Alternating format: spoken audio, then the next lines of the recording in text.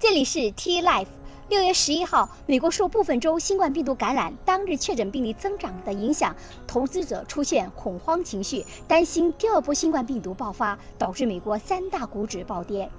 随着美国各州深入推进重启，对第二波新冠病毒感染病例的担忧也在上升。自五月二十五日以来，德克萨斯州新增新冠病毒确诊病例两千五百零四例，住院治疗人数增加了百分之三十六，为疫情爆发以来的最高单日记录。加州九个县报告，因新冠肺炎入院的人数目前处在近一个月来最高水平，而且过去十天内有九天一直在攀升。亚利桑那州的每日新增病例数也在过去两周内。巨升，六月二日更是创下历史最高纪录一千一百八十七人。重启一个月的佛罗里达州上周则出现八千五百五十三例新增病例，创下最高周度增幅。北京出现第二波新冠病毒疫情，北京大型农贸市场新发地市场是聚集性感染的发生地，所有的病例都与之相关。六月十五日，北京市委组织部在新闻发布会上表示，北京已经进入非常时期，全市社区进入战时状态。对五月。三十号以来，去过新发地农贸市场的人员已经排查了近二十万人。据中国疾控中心专家说，北京这这次疫情出乎意料严峻。此次疫情的特征有两个：一是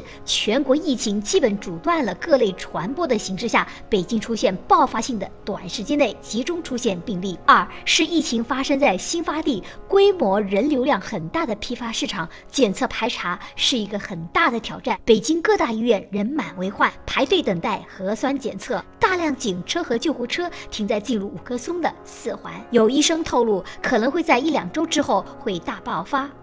这阵呢，要提醒家人和朋友一定要注意预防措施。这次的病毒呢，比上次传播的更快和难控，一定要注意无症状带菌者。预计在未来的五到十天将在美国传播和爆发。我们一定要记住预防的黄金时间，储存好你的食品，尽量待在家里，不要出门。但是我们也不要被新冠病毒影响了心情，生活是美好的。大家看到今天有一束月季在陪伴我。在佛州是不宜种月季和玫瑰的，都快死了，现在又活了回来，而且开这么多的花，真的要感谢老何一家。